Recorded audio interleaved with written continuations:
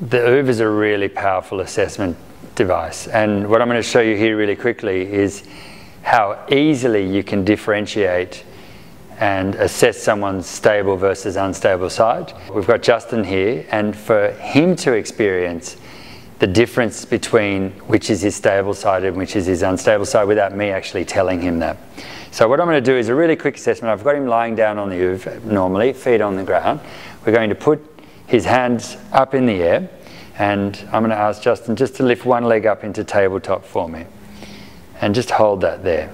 Now, I didn't ask him to lift a specific leg. I just asked him to lift a leg, putting that leg back down. That's great. The reason why is that's an assessment for me to see which leg he picks up first. Now, lift the other leg up for me.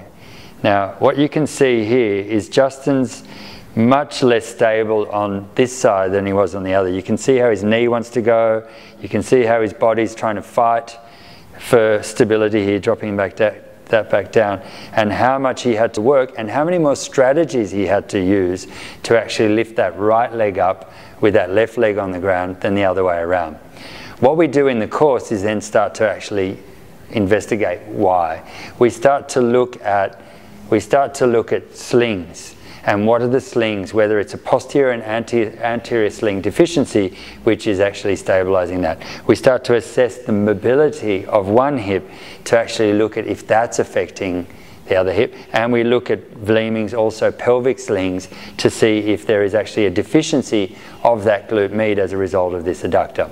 So what we work on in the course is to how to three-dimensionally assess someone's function and to actually identify their strategies in a positive test and then be able to understand how we correct that and how do we actually create new strategies and put the body in a position that it can't use that strategy. That was a great example to show how one side was more stable than the other. And for you, Justin, did you feel how it was easier for you to lift one leg up than the other? Oh yeah, absolutely. And so for, for me, more importantly, that he became he had an objective feedback on which his stable side was and which wasn't.